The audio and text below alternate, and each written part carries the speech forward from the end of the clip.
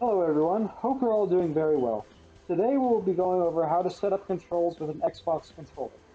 Contrary to popular belief, I don't think Xbox controller or HOTAS is a disadvantage to the player. For example, this clip that I'm about to show you, I did it with a controller, not with a HOTAS.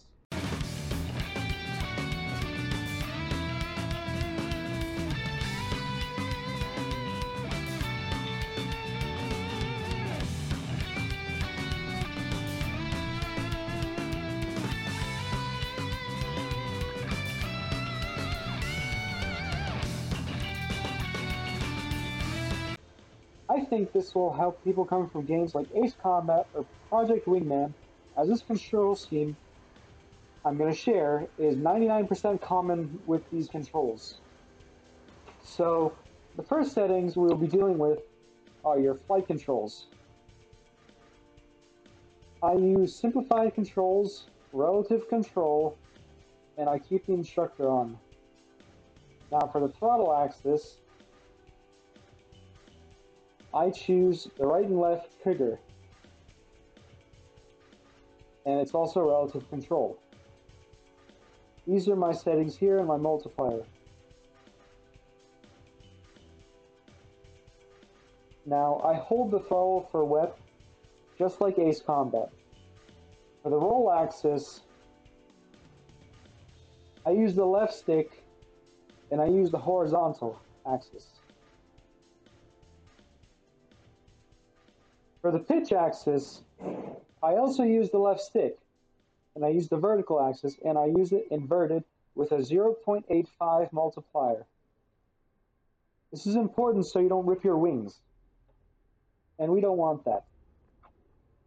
Now for the yaw axis, for the maximum value of the yaw axis, I put the right bumper, and for the minimum value, I put the left bumper. It'll function perfectly fine like this. Force feedback on. For the flaps, I use the right button of the D-pad. For the air brake, I use the left. For the gear, I use up. And for chaff and flare, I use down. Now, for small caliber guns, large caliber guns, any guns, your primary weapons, I use the A button. For your secondary weapons, I use the B button. This includes missiles, bombs, rockets, everything. For bomb bay door, I use space. Weapon lock, I use left bumper and A, or you can just press the missile lock button. That's probably even better, honestly.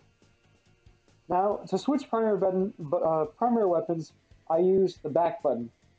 And the same for the secondary. As I said before, countermeasures like chaff and flare, it's the down button on the D-pad. I will be going over this in a separate video, the yaw axis, and the laser designator, and that stuff. Now for radar mode, I use P. This is like for pulse Doppler mode. P for pulse Doppler. That's in a flame pulse Doppler radar. For um, ACM mode, I click on the left uh, the left stick. Now for changing radar search and track mode, I use the space button, and for the for the scope scale, like the distance, I use the R button. For ballistic computer, I use the B button. Now, for gunners,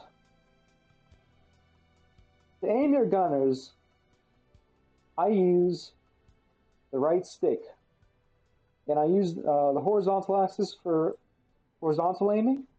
And I use the vertical axis for vertical aiming. And I invert the axis.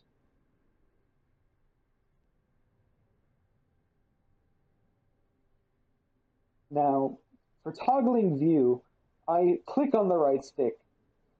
For tracking the enemy, I use the Y button. For zoom axis in the air, I use the X button. For view in the air, I use the right stick horizontal. And these are my settings for the multiplier and for correction.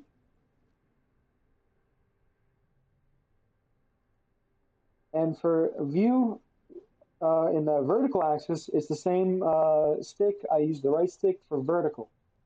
Now for miscellaneous stuff, uh, I use S for smoke, C for cockpit, and E for engine. Now, I'll go into the plane right now and show you how this works.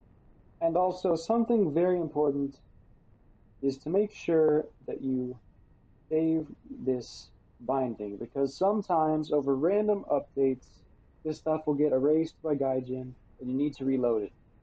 So this is where I load it, and this is my binding for joystick. There's a video on the joystick uh, coming as well.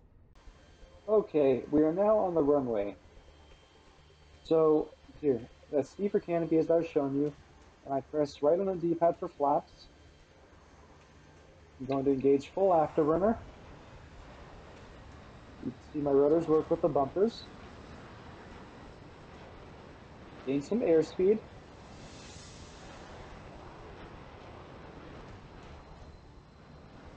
And pull up. Up on the D-pad for gear, right on the D-pad for the flaps. Now, to left, we see a juicy MiG-15. I have my Sidewinder missile selected with the back button on the controller. And when I get closer to him, I'm going to use my Sidewinder. Now, you see to the right, the radar isn't the whole screen. I press the space button for the scope, and that's how you do that. Now I'm going to go behind this MiG-15 and give him a Sidewinder. And I'm going to click left on the D-pad for air brakes. And there, we got a nice lock on them, firing with the B button. And that's a dead MiG-15. Now press on the back button for your sparrows. And there's a juicy MiG-15 right above us. To click ACM mode, click on the left stick. Now, what you will do is, if you're within the range, which is 9 kilometers for the ACM mode, you know, put your nose on the plane and let it lock him up. Now, if it doesn't lock him up, you'll have to turn it on and off. Anyway, now I'm, I have him locked up, I have good tone, and I'm going to fire a sparrow at him. And as you can see, it's guiding very nice. And it'll hit any second. There you go. That's a dead fifteen.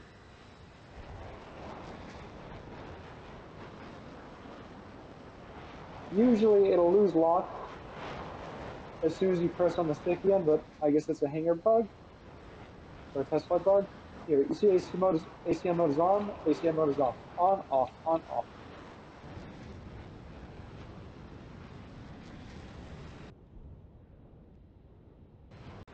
If you have anything that you would like to ask me, feel free to put it in the comments. And also, don't forget to like, comment, and subscribe. And yes, I will be getting a better mic soon. Thank you for watching.